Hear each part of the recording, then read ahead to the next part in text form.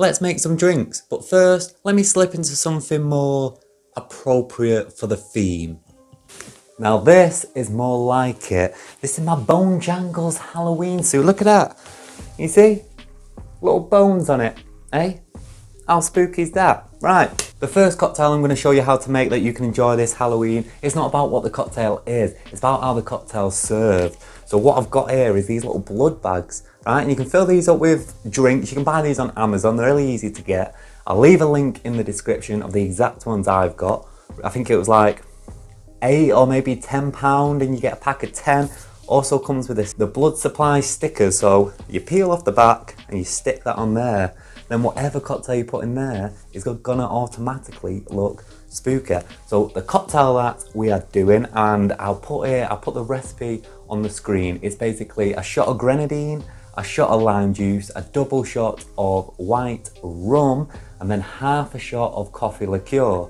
You're gonna shake that up real good and then you're to strain in there. It can be a bit fiddly, but the best thing to do is if you get, if you can, get a little funnel, put it in, pour it in the funnel. Otherwise, you just kind of got to get over a bowl, pour it, and then what's in the bowl, back in the shaker, pour again, back, pour again. However, it's worth the payoff because once you filled it up, it'll look like this. You see, spooky, right? Look at that. Super spooky. Now, great idea for this, what you can do is you can write there the name. So if you film like a Halloween party and you've got guests coming, write their name on it and their age, and everyone gets one when they come in. How cool would that be? Or you can just write at the bottom what the cocktail's called that you're putting in it, and you can put whatever cocktail you want in. Word of warning, when people make these kind of blood cocktails, they always want to go red. Grenadine, which works perfect, obviously, but then they pair it with things like cranberry juice or watermelon, naturally red things. And what you get is this kind of fake looking red. If you want it like this, where it looks more realistic, where it looks like blood, look at that. You have to add something dark in there to really darken it out. That's why we had that coffee liqueur. See, it's not just about flavour. We add such a little bit, you can barely taste it. All it adds a bit of sweetness and a bit of bitterness. What it's really doing is that little bit of black liquid is just changing the red to make it look less bright, vibrant red and more like blood red. Honestly, this, I just love it. It's super easy to carry as well. Look at that. You just, oh, you can even take the top off it and use that bit as a straw. You're just walking around like, oh, happy Halloween. Happy Halloween. Cool, right? Moving on. All right, so this one I tried. I was just messing around with ideas. I love it, right? I call it Casper the Friendly Cocktail, and you'll see why. Here's what we're gonna do. Right, the cocktail itself, I've already made it once again. I'll put that on the screen. It's a couple of shots of milk, a shot of cream, some vodka, and some rose water, right? Super simple. Put it in a cocktail shaker, shake it up. The important thing here isn't necessarily cocktail, but it's a great tasting cocktail, so you know, save that recipe. Go back, have a look at it, save it, tastes delicious. Really sweet, really creamy. It's just, oh, I forgot there's also vanilla syrup in there. So you get this vanilla-ness, it's really nice, but it's the serve, once again, that looks cool. And it's really easy. Grab a wine glass, and you can do it with any glass, and a black marker, and you're just gonna draw a ghost face on there. So give it some eyes. You know, take some artist intuition. Put whatever kind of face you want on here. It don't look like much now, does it?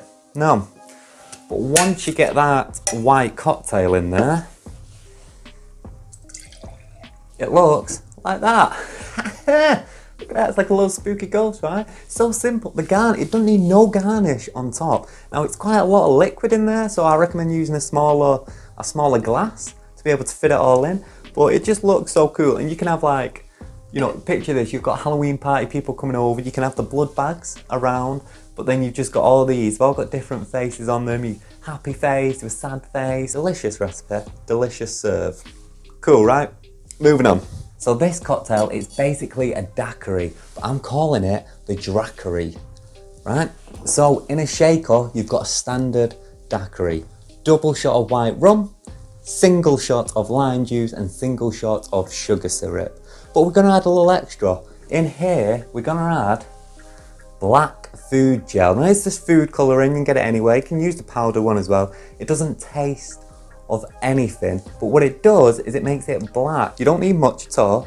It doesn't have to be pitch black, but that kind of murky look just really brings it out. Fill that with ice, shake it as you normally would. Now for the serve, normally you would use like a coupe. I happen to have these like female bodices. It goes with the theme. You don't have to, I will leave a link in the description of where you can get these, but you don't have to have these. This is not necessarily, you can do it in a coupe. This does add to it though. What this is, is honey, poured out load of honey, red food gel. So pick up your black and your red, put the red food gel in there and I've mixed it all in. So it looks like blue, look at it, blue. Now I'm just gonna dip the glass into that. You know, nice healthy mouth and you've got this nice sweet rim on it for when you take a sip. Really balances well with a sour cocktail. Put it like that. And the longer you leave it, the more it'll drip. And then you can strain your drink, which should be pretty black by now, into there. You get it? It's a woman bleeding from the neck. Who does that remind you of? Dracula. But what's the recipe? It's a daiquiri. So what do you get? Dracula. Don't have to be daiquiri, it can be a margarita, it can be a whiskey sour, it doesn't even have to be a sour one. Whatever, just get some red, get some black food colour in, put that in, and that'll pair really well with like a red rim on whatever drink you want. Now the last drink, we're gonna do something a little bit more sophisticated. I'm picturing this as if you're throwing a party, okay? So you've got the sour cocktail, the Dracula. You've got that sweet, creamy cocktail, which is the Casper the Friendly cocktail. And you've also got those blood bags, right, which is almost like a tiki drink.